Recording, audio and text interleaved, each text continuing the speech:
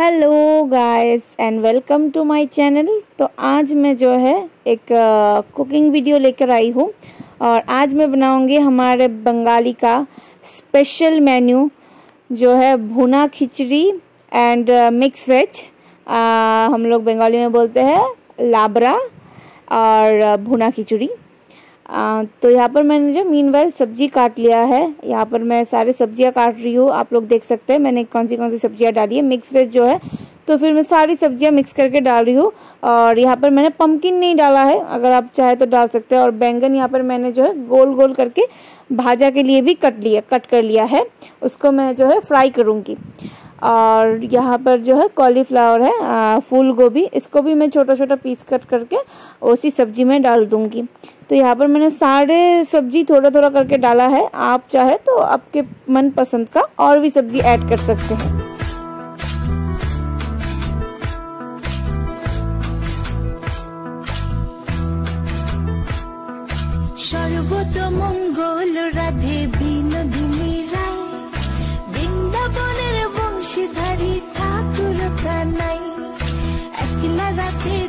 যমুনাতে জল ভরিতে যায় পেছন থেকে কৃষ্ণ তখন तो मिक्स वेज का सब्जी कट होने के बाद मैं यहाँ पर करेला जो है गोल गोल करके कट कट रही कट कर रही हूँ उसको मैं फ्राई कर लूँगी और यहाँ पर मीनवाइल मैंने गैस में कढ़ाई चढ़ा दिया है तो कढ़ाई थोड़ा सा गर्म होने के बाद मैंने यहाँ पर डाला है घी यहाँ पर दो चम्मच जैसा घी होगा उसके बाद मैंने यहाँ पर डाला है तेज पत्ता बेली और ये क्या बोलते हैं ड्राई चिल्ली और पाँच फोरन उसके बाद मैंने यहाँ पर जो है मूंग दाल है, इसको मैंने फ्राई करके थोड़ा सा धो के रख दिया था और यहाँ पर मैंने जो है गोविंद भोग चाल जो है खीर बनाने में जो चावल काम आती है, वो उसी चावल को लिया है।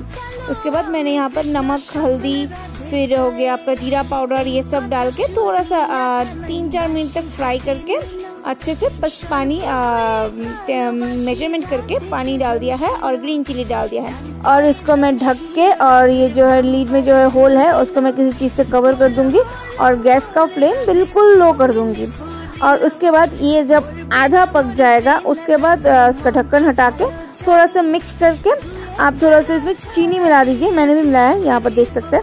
थोड़ा सा चीनी मिला दीजिए और नमक थोड़ा सा टेस्ट कर लीजिए, अगर चाहिए तो दे दीजिए। उसके बाद थोड़ा सा भिगा हुआ काजू भिगा हुआ किशमिश डाल के मिक्स करके इसको चार से पाँच मिनट तक होने दीजिए जब तक चावल बॉयल ना हो जाए अच्छे तरीके से। उसके बाद बस इसको बंद कर दीजिए। उसके बाद मैंने यहाँ पर जो बैंगन काटा था फ्राई करने के लिए उसमें मैंने यहाँ पर थोड़ा सा नमक हल्दी और थोड़ा सा चीनी डाल के आ, मिक्स करके रख दिया था। और ये कढ़ाई पे मैं अभी तेल डाल रही हूँ इसको थोड़ा सा गर्म होने देते हैं। उसके बाद मैं जो है बैंगन को इसके इसके इसमें डाल के तल लूँगी फ्राई कर लूँगी।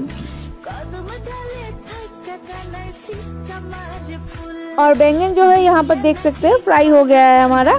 और साथ ही साथ मैंने जो करेला काटा था, उसको भी मैंने नमक और हल्दी लगाकर छोड़ दिया था थोड़ी देर।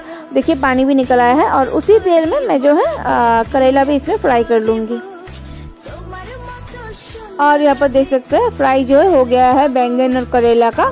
और यहाँ पर मैंने कढ़ाई में जो है जो तेल था बचा हुआ उसको मैंने निकाल के रख दिया है और उसी कढ़ाई में मैं यहाँ पर मस्टर्ड ऑयल डाल रही हूँ और वो जो मिक्स वेज हम लोगों ने काटा था उसको बनाने के लिए।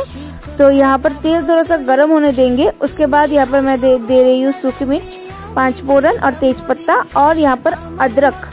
ये इसको थोड़ा सा एक मिनट के लिए मिक्स करके फ्राई करके इसमें मैं डाल रही हूँ मिक्स वेज जो सब्ज़ी हमने काटा था, उसके बाद इसको नमक और हल्दी डाल के मिक्स करके हम लोग उसको ढक देंगे बॉयल्ड होने के लिए।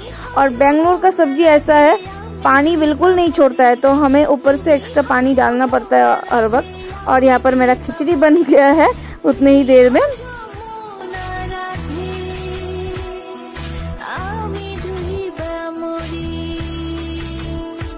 और उसके बाद ये सब्ज़ी जो है बॉयल नहीं हुआ है अभी तक तो मैं इसको थोड़ा सा हिला देती हूँ, ताकि नीचे से लग ना जाए। उसके बाद मैं थोड़ी देर बाद आके फिर से चेक की तो ये हो गया था। उसके बाद मैंने यहाँ पर डाला है जीरा पाउडर, उसको डाल के थोड़ी देर छोड़ दीजिए बस हो जाएगा। और बाद में यहाँ पर मैं कर रही हूँ प्लेटिंग बंगाली खाना स्पेशल खाना। अगर आप लोगों को अच्छा लगे तो प्लीज़ ज़रूर ट्राई कीजिए, और मुझे ज़रूर बताइए कैसा लगा है। Thank you